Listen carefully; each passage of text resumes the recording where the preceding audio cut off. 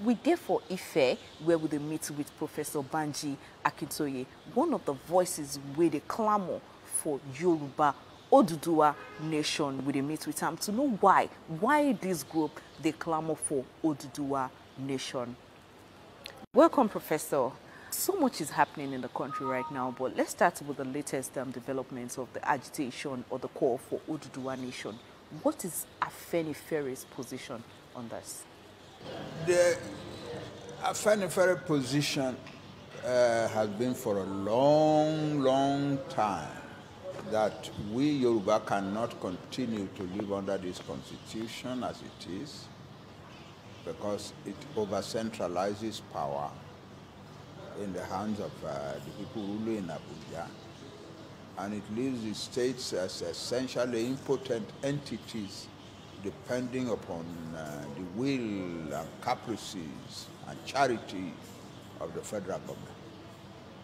And that we cannot, in a country of many nationalities, uh, that is wrong, very wrong. It will lead to disaster, it will lead to conflict and disaster. And that therefore, uh, Nigeria should be restructured in order to make it a proper federation the kind of federation that our fathers designed in the 1950s. That has always been the, uh, that has been the position of uh, Afeni Ferry. But now I'm not speaking for Afenifere. Uh, but I can say now that uh, many of my brothers and elders and so on in Afenifere have now come to the conclusion also that some that people like me came to a little earlier uh, that now this thing is not going to work. So you said The- it's not going to work, not only because power is centralized, but because the people who have uh, control of the over-centralized power seem to have decided to unleash their people on the rest of us so as to subdue us or destroy us and so on. So it is no longer politics. They have turned it into war. And uh, after fighting this war and liberating ourselves, uh, most Yoruba people now uh, say that it doesn't make sense to want to continue to live in the same country with these people anymore. And that therefore we need to have a separate country of our own. They will be in a separate country of their own. We hope to get this thing done peacefully, in a, in a friendly manner, so that uh, we will be uh, friendly neighbors to one, to, to, to, to one another uh, forever, so that our children will not be fighting the way the Jews and the Arabs are fighting now, that they will be friends, they can help one another, and so on and so forth, they will be separate countries. And we are not the only people who want that. You know, of course, that the Igbo have wanted it earlier. We Yoruba, in fact, we are latecomers to this demand for a separate country. Uh, the Igbo have wanted their own separate country for decades. Uh, the peoples of the South South have wanted their own separate country for decades.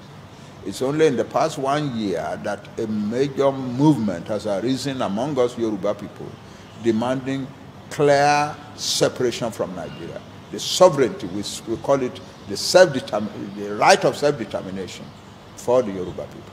So you say this, you hope the separation um, will go in a peaceful manner.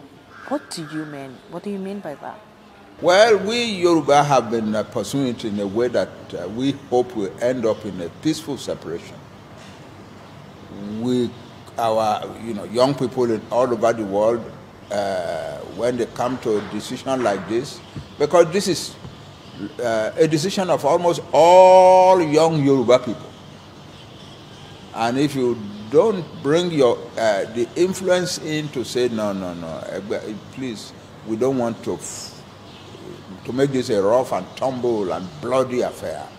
Uh, if you don't do that, young people tend to want to flex their muscles and uh, vocal cords, make a lot of noise, and, uh, and so on, and say rude things about other people, uh, and so on.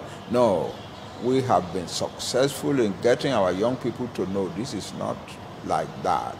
We are Yoruba, uh, you know, and we are a civilization building people, a civilization loving people.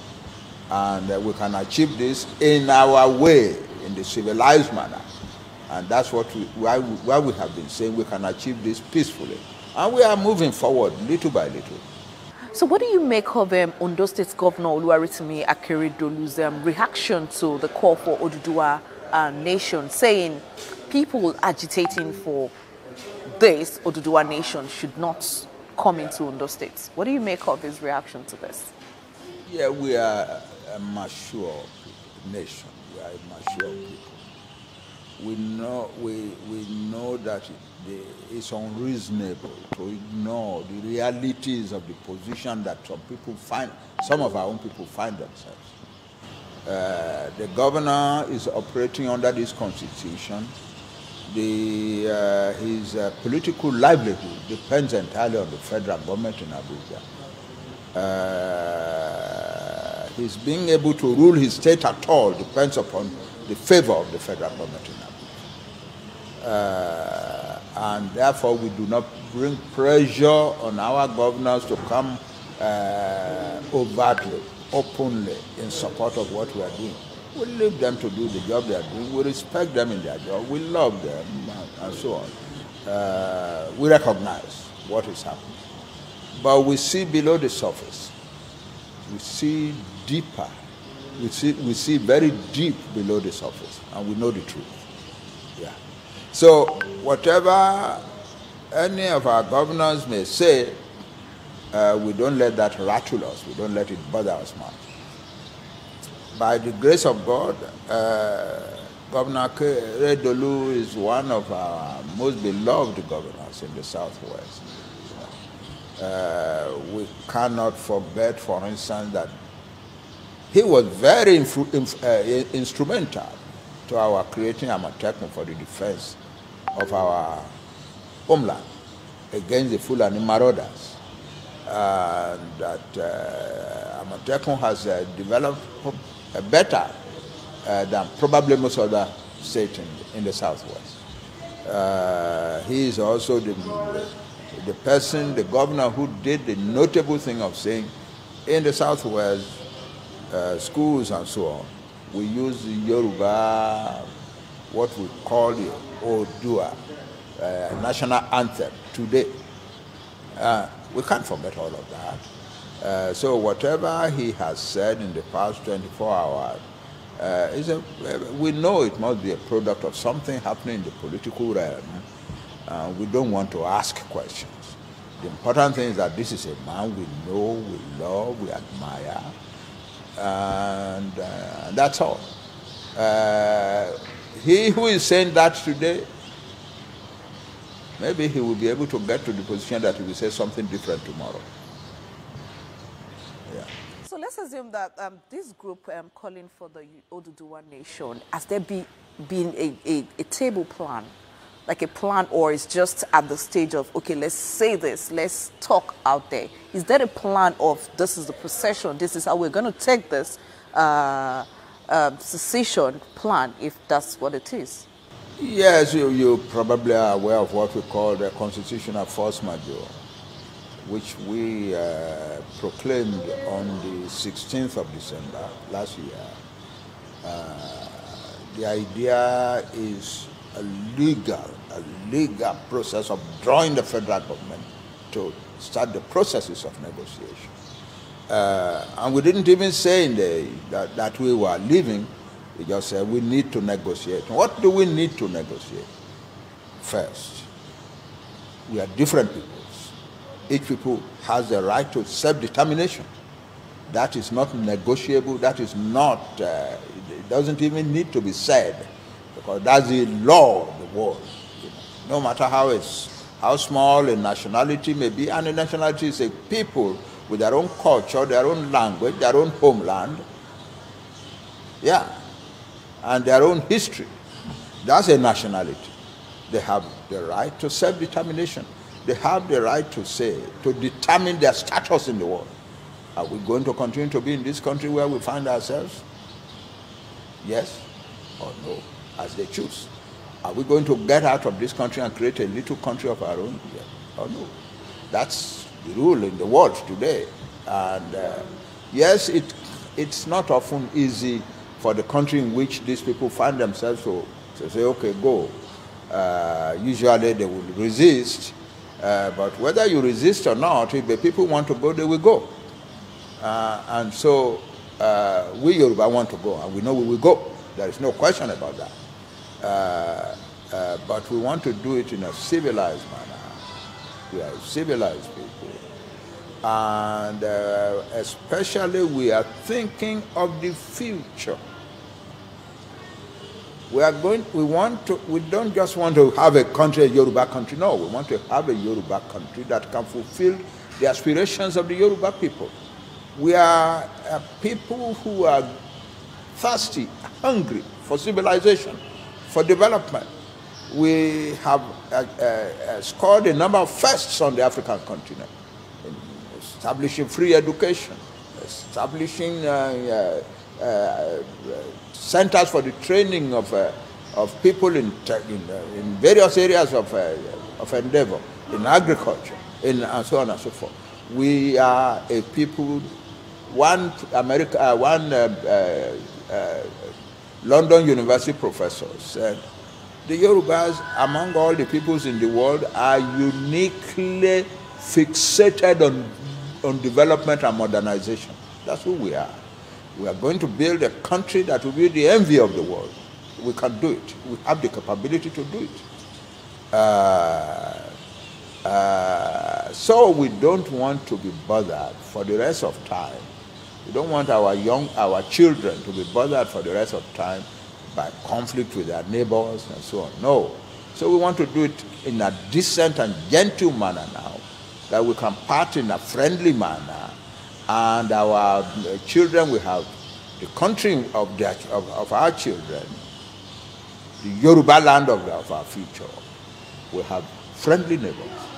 Neighbors that we can help. Well, neighbors that can help us in certain areas too. Uh, so that's it. That is our, our objective.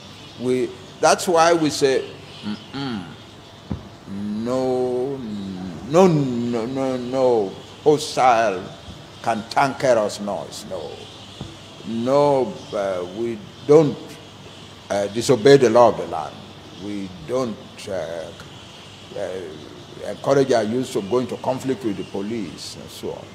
Uh, we don't, uh, we tell them the police are not our enemies. These are young people, these are people employed to do a job.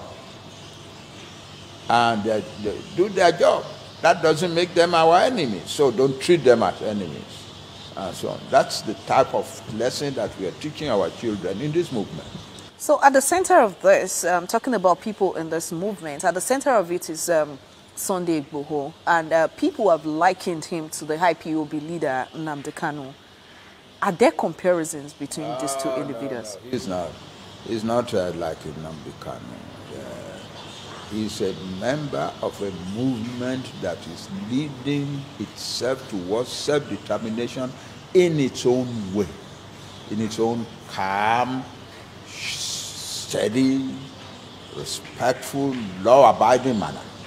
And uh, no, no, he's not. He's not. He's not, uh, for instance, making a noise, calling on Yoruba boys to go and fight. Mm -mm. There is a point at which we Yoruba have a difficulty.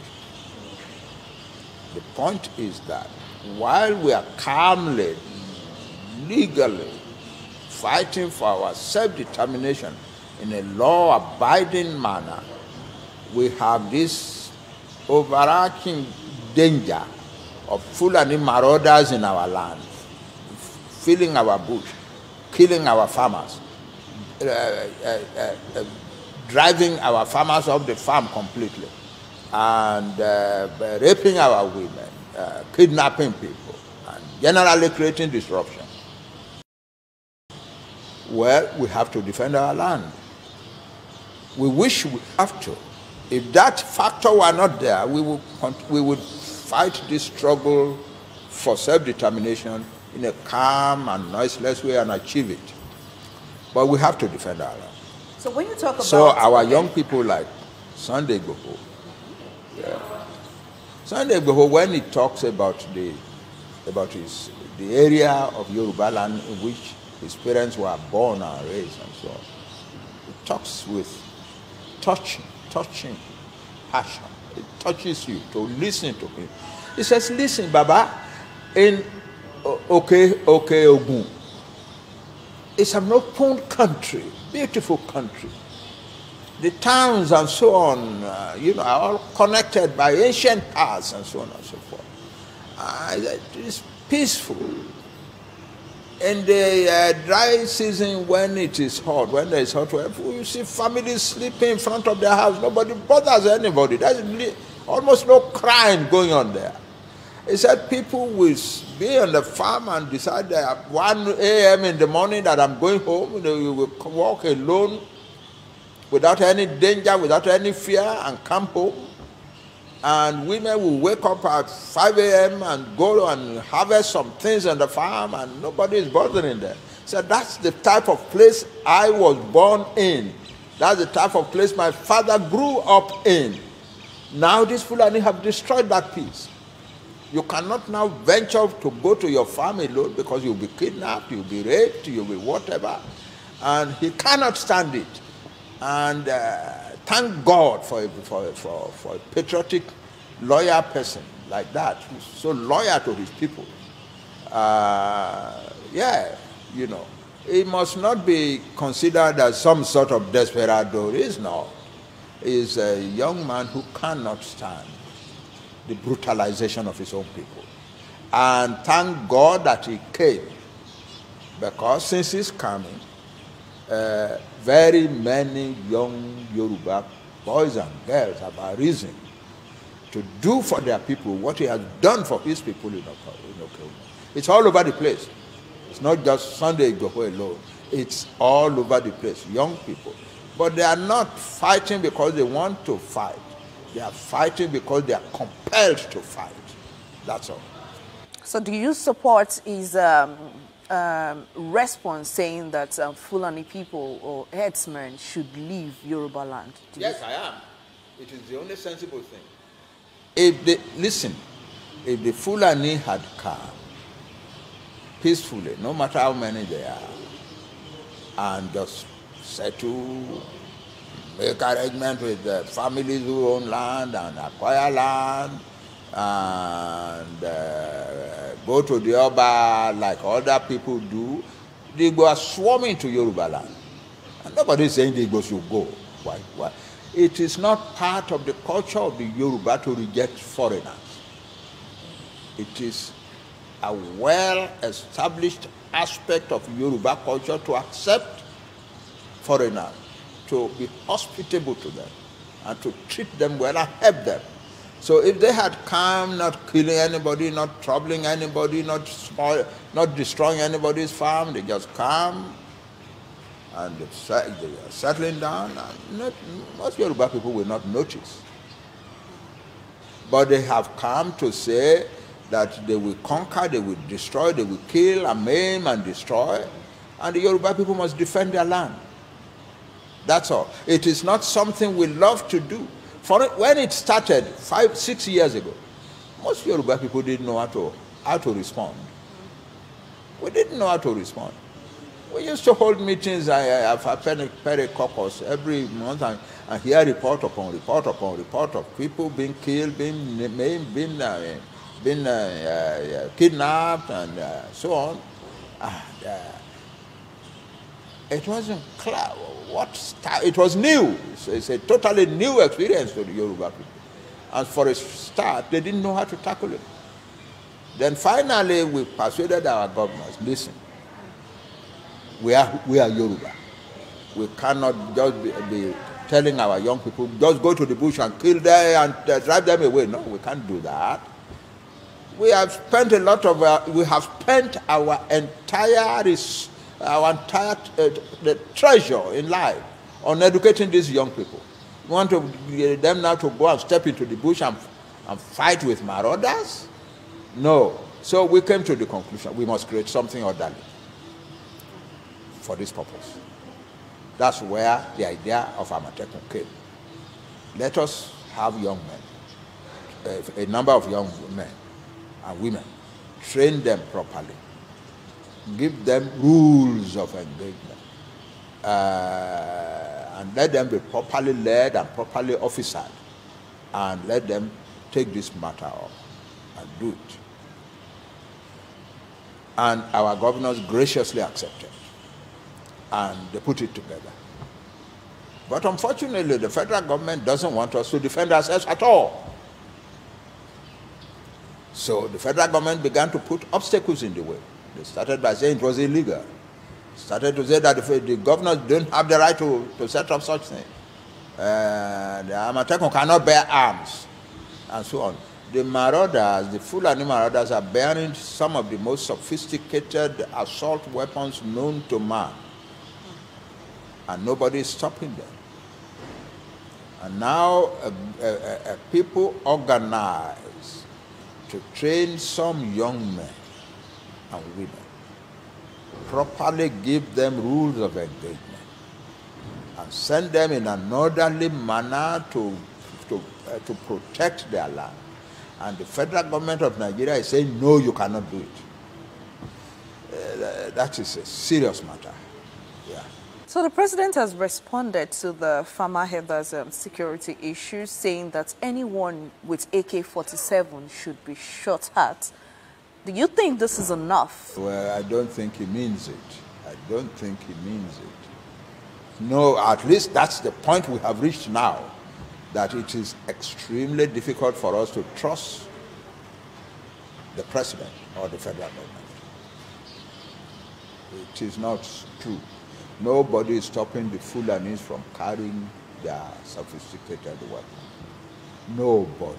There is no policeman or soldier anywhere who is stopping them. They are still as free as ever. So what do you make of um, President Muhammadu Buhari's response, apart from the if you have AK-47 with you, you'll be shot sight. What do you make of his response to insecurity issues in Nigeria, in the country, and even in the southwest? I didn't get that. What do I make What of do you make of, yeah, President Buhari's um, reaction to the insecurity issues, the farmer herders issues that is ravaging the southwest, so to say? I don't, well, uh, we can only assess what we see. And what we see is that the federal government would rather defend the Fulani than defend the people whose land is being ravaged. Yeah, that's, that's our perception. Perception. Yeah. So you've actually been so critical about the president, even in the past um, years. What what is that thing you think it's not probably doing right? or- Listen, listen.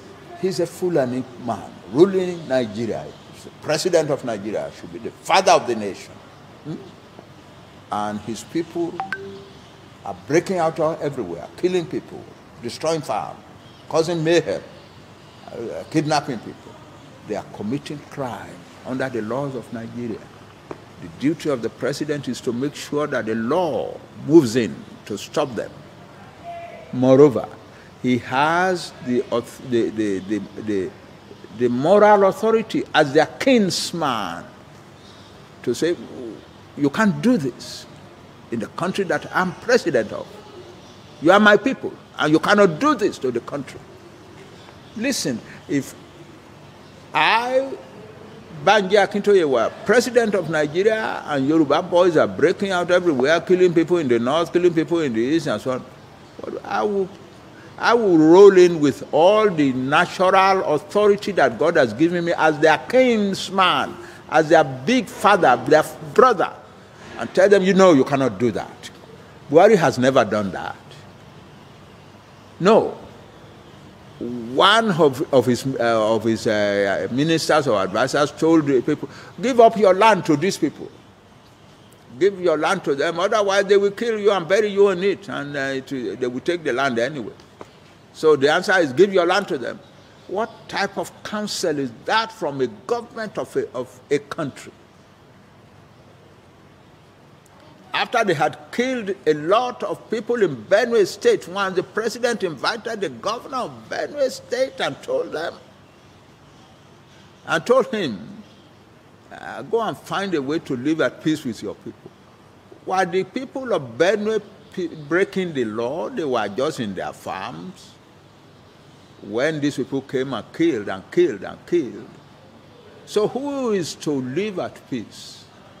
The people of Benue State or the people who are breaking the law in a massive manner? Whose duty was it at that point? Why didn't President Buhari call his people at that point and say, you cannot continue to, to do this? And if you try to continue, I will use the law against you. Why didn't he do that?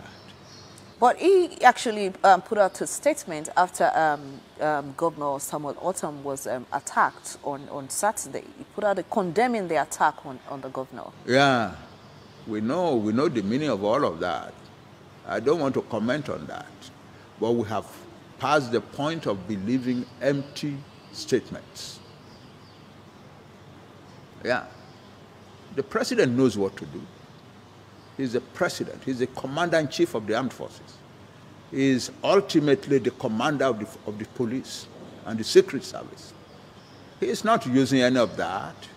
Now, when uh, Yoruba boys go and uh, uh, uh seize a, a, a, Fulani gang or person uh, marauding their father's uh, farms, and they bring them to the police, the police arrest the boys who bring them. The police arrest the boys who bring these people to justice. What kind of country is that? And how can any sensible person ask any self respecting nation to want to remain in that type of country. No. That's all. Has there been threats to maybe some of the members or some of the groups agitating for this Oduduwa nation? Has there been threats in any way, arrests? or anything of any sort? Yeah, they have arrested one or two boys and we have managed to get them released because there's no, there's no crime. They are not committing crime. When they go around, say, young people, you know, putting a little uh, handbills on the wall, we, we want our own country, Yoruba, do our nation, yeah, Yoruba land, uh, and so on. Police arrested one of them. And uh, the, the lawyers moved in. And what is the basis of the arrest? What he is saying is what he desires for his people. He has a right to desire it. He's not breaking any law. He's not attacking anybody. He's not throwing stones at anybody. He's a young, agile young man, but he's not fighting. He's just going around putting uh, uh, uh, this scrawled notes on the wall around. How does that break the law? It doesn't break the law. So uh, that's the situation. These kids who are going around saying we want our own country, we are holding meetings, organizing ourselves, uh, and so on, and uh, we will get our country, Yoruba Republic. They are not breaking any law.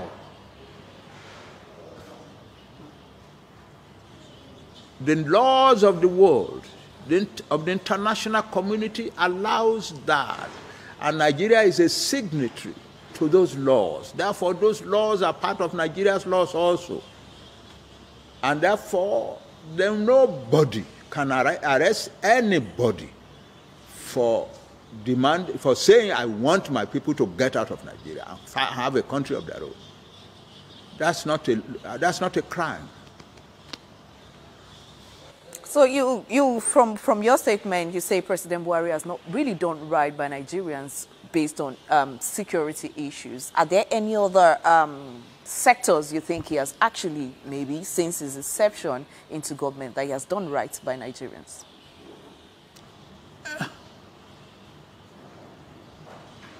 I'm a historian and I follow things carefully. Uh,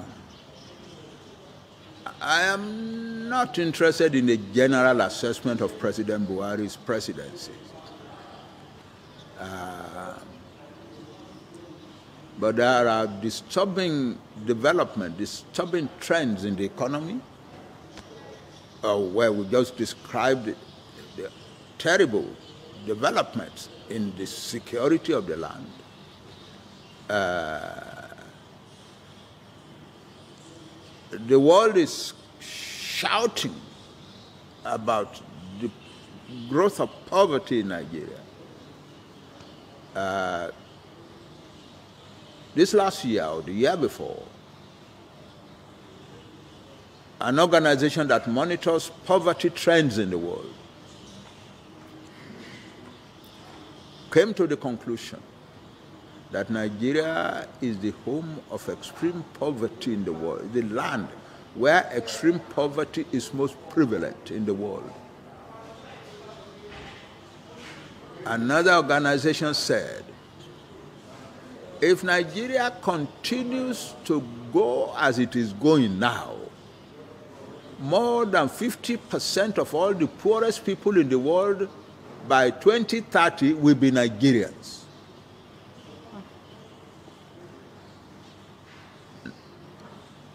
More than 50% of all the poorest, the desperately poor people in the world will be Nigerians.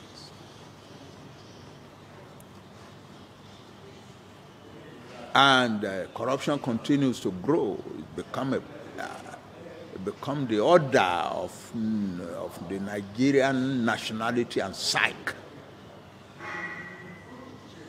Know, uh, maybe when I'm done with all this noise, um, hope, hopefully, and Yoruba nation exi- exi- uh, uh, removes itself peacefully from Nigeria, I'll be able to sit down and write the history of these times. Yeah, but you know, what I've just said is just a selection from the obvious, the obvious facts. Yeah. So what do you say to people who think um, the people behind this call for Oduduwa Nation, they're just trying to be selfish, they're calling for their own interest. What do you say to those? I don't know what they mean by selfish. For, for one thing, they want to protect themselves, they don't want to die. They don't want their parents to die. They don't want their sisters raped in the bush. They don't want their, their fathers and mothers killed. Uh, Khrushchev once said, every living thing wants to live. Every living thing wants to live. We are living things and we want to live. And so what, what's selfish in that? What's selfish in your desiring to live?